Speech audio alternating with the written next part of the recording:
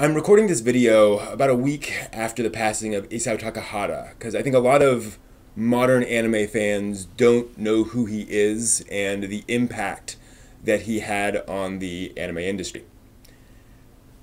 Takahata is not just some director who made interesting anime. He is responsible to a large degree for anime being what it is. He was working at Toei Animation back in the 70s to really try to bring anime animation standards up to the the quality it was out in the West.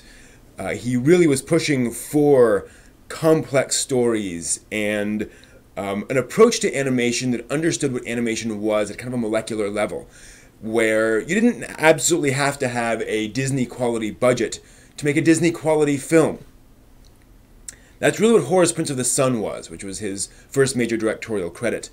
Um, while certainly a film aimed more at kids than anything else and kind of an adventure story, uh, there's a lot of interesting stuff going on in that movie. It has pathos, it has tragedy, um, it has a very dark story in its own way, and it doesn't shy away from any of that.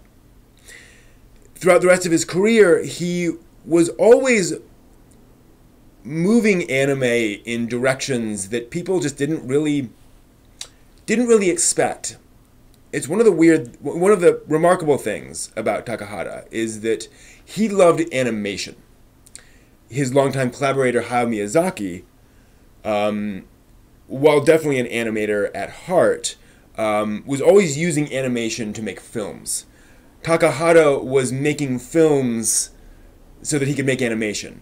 Um, if you watch The Tale of Princess Kaguya, Takahata's last film, you'll see somebody at the height of his craft who is creating animation that speaks to you at a, a very direct level without requiring massive amounts of budget, but also knowing where to put that budget, where to make anime count, make the animation count. As a result, his films often weren't categorized very clearly as anime. Grave of the Fireflies certainly doesn't look like Gundam or Macross. Grave of the Fireflies is a work of art. My Neighbors the Yamadas uh, was really trying to play around with digital technology and with very different methods of producing animation and made something charming. Not a lot of, of mainline things, you know, mainline movies qualify as charming, and he managed that in the Yamadas because he understood animation.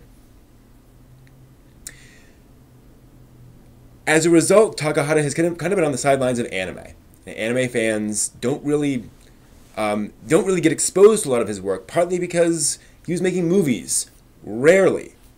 Uh, he, he really kind of moved out of the industry to a great extent um, and made only a few movies over the past couple of decades.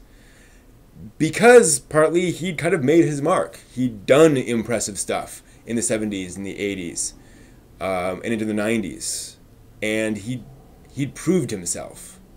And unfortunately, in the modern society, there's this sort of, you know, well, what have you done recently that's interesting?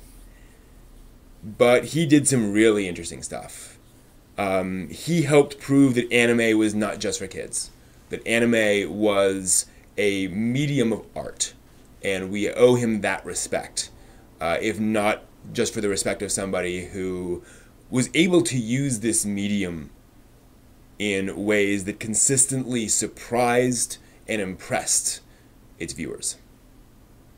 Rest in peace.